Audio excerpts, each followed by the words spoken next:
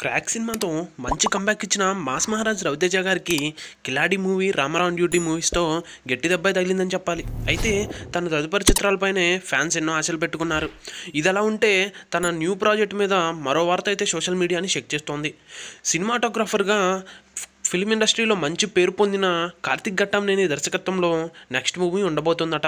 ఆయన రి- ఆయన కథ వినిపించగా రవితేజ గారు గ్రీన్ సిగ్నల్ ఇచ్చారట.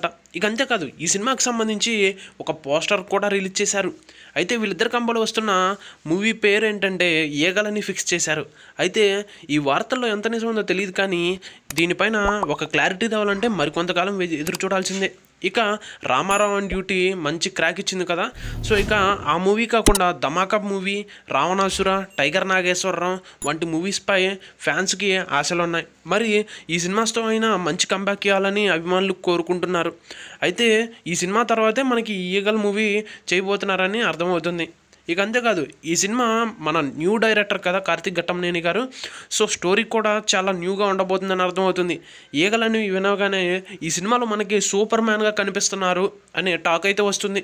మరి ఈ వార్తలు ఎంత నిజముందో తెలియాలంటే మరికొంతకాలం ఎదురు చూడాల్సిందే.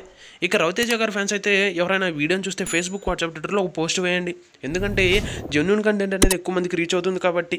ఇక మన ఛానల్ కొత్తగా వస్తే తప్పకుండా సబ్స్క్రైబ్ చేసి బెల్ ఐకాన్ యాక్టివేట్ చేసుకోండి.